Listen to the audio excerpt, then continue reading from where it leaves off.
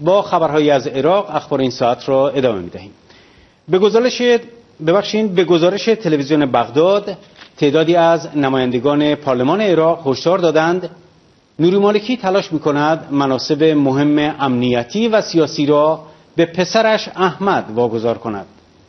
این اقدامی خطرناک است که ارگانهای امنیتی را به قبضه افراد در می آورد شوان محمد تاها عضو کمیسیون امنیت و دفاع مجلس عراق گفت مالکی باید مشخص کند کدام مسئولیت های امنیتی را به پسرش واگذار کرده است که اقدام به دستگیری افراد می کند. علامه شیخ عبدالملک سعدی مفتی بزرگ اهل سنت عراق نسبت به اقدامات فرق گرایانه مالکی هشدار داد و اعلام کرد دولت مالکی برای ایجاد جنگ فرقی در عراق دست به تحریک می‌زند. تلویزیون رافدین با اعلام این خبر افزود علامه شیخ عبدالملک سعدی در کنفرانسی درباره حقوق بشر گفت مساجد عراقیان تخریب و سوزانده می شود امامان مسجد و کسانی که در آن انجام وظیفه می کنند کشته می شوند و زندانهای علنی و مخفی مملو از جوانان است.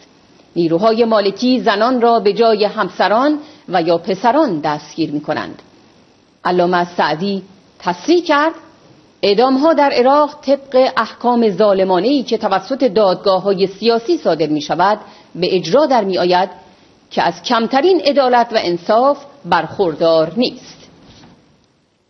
همچنین عبدالستار عبدالجبار امام و خطیب مسجد اعظم بغداد اقدام های فرق گرایانه حکومت مالکی را محکوم کرد.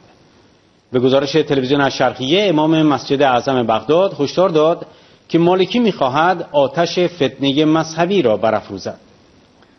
به گزارش تلویزیون الحره حسن الشمری وزیر دادگستری دولت مالکی فراخوانهای بین المللی برای لغو حکم اعدامهای جمعی در زندانهای عراق را رد کرد و از اعدامها تحت عنوان مبارزه با تروریسم دفاع کرد. همچنین به گزارش تلویزیون رافدین وزارت دادگستری عراق اعلام کرد به اجرای احکام اعدام زندانیان در زندانهای دولتی تا آخرین زندانی ادامه می‌دهد.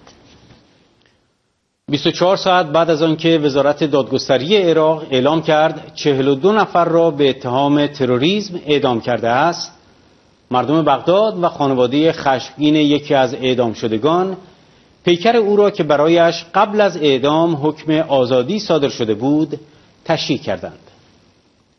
تلویزیون شرقیه با اعلام این خبر در گزارشی از این مراسم گفت اندوه و غم بر چهره های خانواده زندانی نشسته بود چرا که خودشان را برای آزادی او آماده می کردند. اما به آنها تماس گرفته شد و گفتند بیایید جسد را از پزشکی قانونی تحویل بگیرید. در سلسله انفجارهای روز یکشنبه در عراق بیش از سی تن کشته و ده تن مجروح شدند. این انفجارها در استانهای بغداد، المصنا، بابل، دیوانیه، واسط و بصره قرار داشت. هیئت علمای مسلمین انفجارهای جدید در عراق را محکوم کرد و اعلام کرد که حکومت مالکی و ارگانهای امنیتی وابسته به آن مسئول این جنایات هستند.